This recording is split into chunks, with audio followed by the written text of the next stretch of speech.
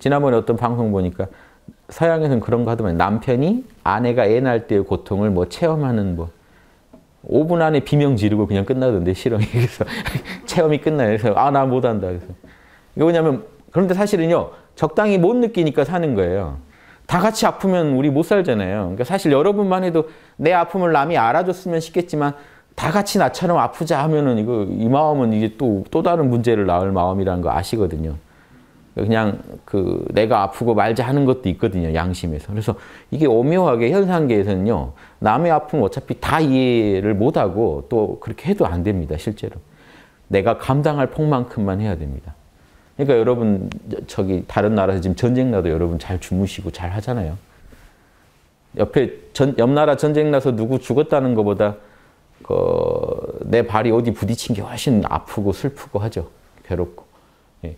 그게 어쩔 수 없어요. 이게 이기적인 것 같지만 우주가 각자 책임을 요 몸뚱이 너가 건사해라고 묶어준 게 있기 때문에 요 몸뚱이 주인이다 보니까 다른 회사 망해도 내 회사에 지켜야 된다는 게 나는 여기 살리는 게 내 책임이라는 거, 일차적 책임이라는 걸 아니까 좀 매정하게 보이는 부분도 있는 거예요. 그래서 그런 부분 감안해 주셔야 돼요. 중생은 탐진치로 살아갑니다. 다만 이, 이렇게 시야가 좁아져 버리면 또 못 살아요. 서로 상처 주니까 보살은 중생성은 인정하되 어떻게 이걸 아름답게 육바람일에 맞게 조금씩 개조해 나갈 거냐가 목표잖아요. 그러니까 이 선을 그, 긋는 것 자체를 제가 막자는 게 아니라 선은 그으시되 조금씩 그 영역을 넓혀 나가시는 건 어떨까 하는 거죠. 조금씩 넓혀 나가는.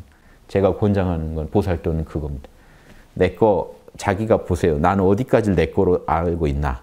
그걸 조금씩 넓혀 보시면 정말 아름다워집니다. 정치도 늘 내가 편드는 그 정치가 있겠죠. 그 사람은 뭔 짓을 해도 내가 이뻐, 그, 아마 뭐 살인을 해도 나라를 위해서 그랬을 거야 하고 아마 이해해 주실 겁니다. 이렇게 이 정도로 우리가요, 어떤 한번 마음을 낸 사람한테는 엄청난 역지사지 능력을 보여요.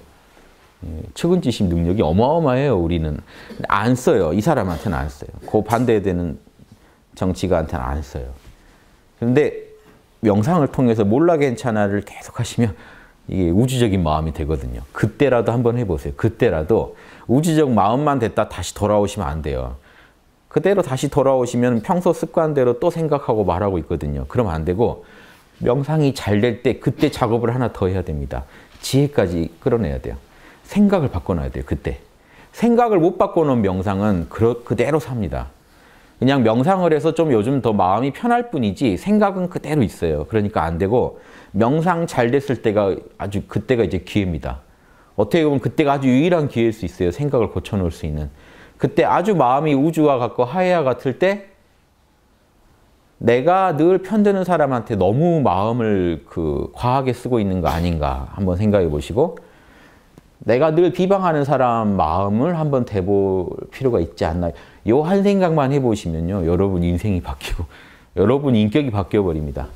명상할 때 아니면 이게 언제 되겠어요. 몰라 괜찮아를 잘할 때 한번 요 생각을 해보시면요. 생각이 조금 바뀌어요. 그럼 내 신경회로가 한번 바뀝니다.